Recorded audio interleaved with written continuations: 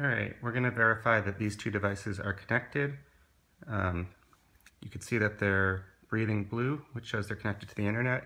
And then we have the Particle app. Um, and both of them should look online. They currently are flashed with Tinker, which is the default. If we click on it, we can set pin 7 by holding on it to a digital write. And then we should be able to turn on an LED on Particle device 1 so I'm able to control that.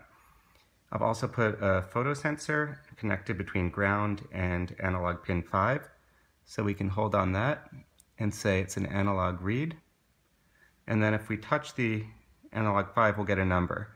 So right now it's quite low. If I cover this up, we see the number grows, um, showing you the photo sensor is working. So now um, we've got a functional photo sensor and we've got cloud connectivity quickly do the same to check the other one that we're able to turn on and off a digital pin as well as read from the photo sensor.